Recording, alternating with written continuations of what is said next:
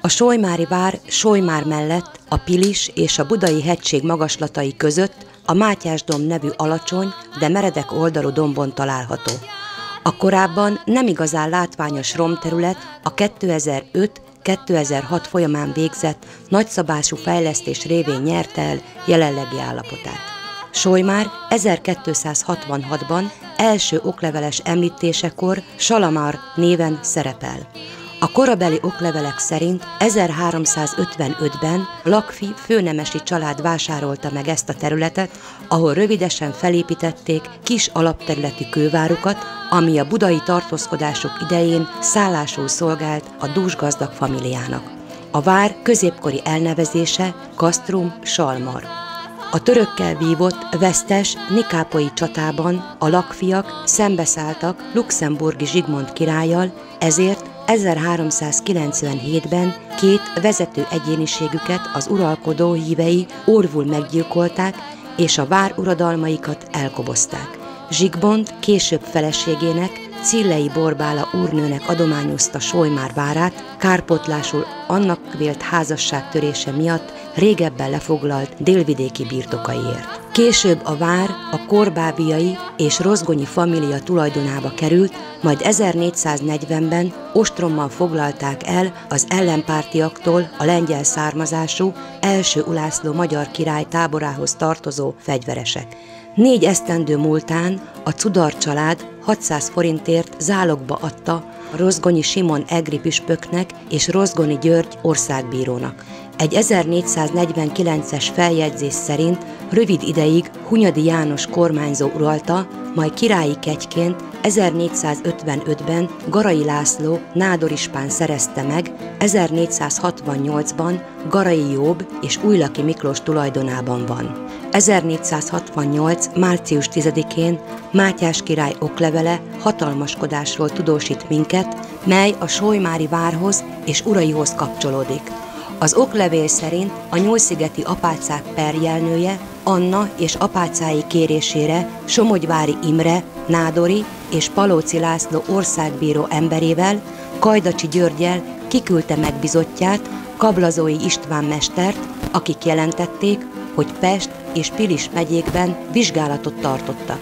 Megállapították, hogy múlt nyáron Mecskei Balázs Deák és Budai Petrák Solymári várnagyok Bertalan és János alvárnagyaikkal együtt Újlaki Miklós Vajda, Telcsaki Ispán és Garai Jobb az uraik biztatására a Pilis megyei Csaba nevű prédiumok határain belül fekvő szántókat, réteket, kaszálókat és az erdőt a Solymáról lakó jobbágyok, Seres Balázs, Kecskés Dénes, Derek Péter, Cígel György, Molnár István, Nagy László és Bálint által elfoglaltatták, az erdő nagy részét kivágatták, és annak nagy részét Petrák a budai házához vitette, a budai és óbudai polgároknak több mint 200 aranyforint értékű fát eladott. Ezen kívül Szent Mihály nap körül szeptember 29-én, amikor az apácáknak Samarodon lakó Villicusa a fenti erdőben a disznójait legeltette, Solymár várnagyai és alvárnagyai a disznókat az erdőből elhajtották, a jobbakat maguk részére leölték, Végül Mária szeplőtelen fogantatása körül december 8-án, amikor a Nyúlszigeten lakó hadi kísérőjük Nagy Bertalan az apácák küldetésében azok Csolnok birtokairól hazafelé tartott, Solymár várnagya és azok alvárnagyai, Balai György kísérőjük és Pancsel Miklós, Magnus Benedek, Mihály, László és Bálint Solymári lakosok által a fenti erdő mellett fogul ejtették, a várba vitték, és öt napig bilincsben tartották. Elvették tőle az apácák négy aranyforintját és saját fegyvereit, lovát és holmiait, az erdőt Solymár várhoz elfoglalták, és azt ma is birtokolják, aminek következtében az apácák több mint 200 aranyforint kárt szenvedtek.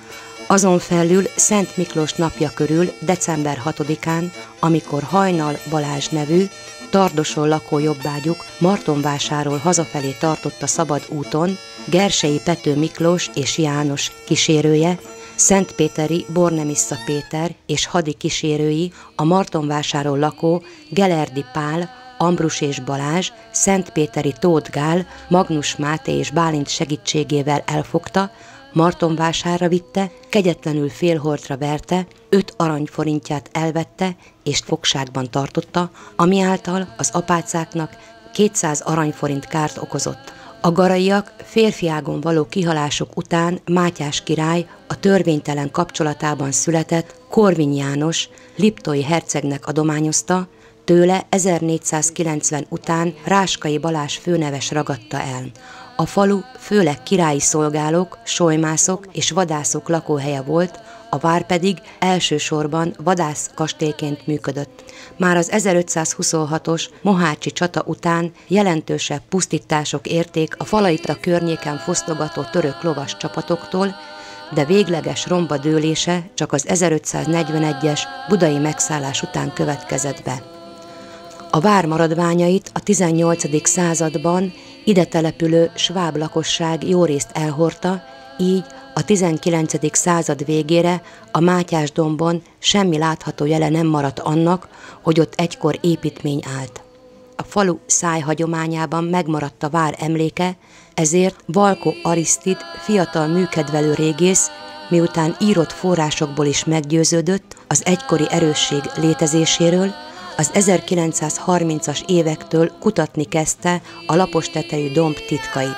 Feltárási munkáját mindegy tíz éven át komolyabb segítség nélkül végezte, egyedül az ásatások fizikai munkájában kapott némi segítséget a község leventéitől.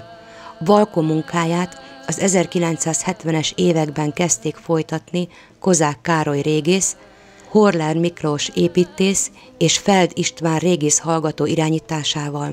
Utóbbi 1977-ben a diploma munkáját is a Solymári vár kutatási eredményeiből írta, majd az ezredfordulót követő további régészeti feltárásokat is ő vezette.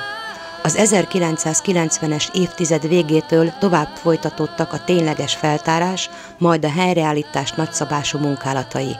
Lassan napvilágra kerültek a hosszúkás ovális alakú várfalak, melyek több lakóépületet és egy vaskos öreg tornyot öveznek a várudvaron létesített mély kúttal.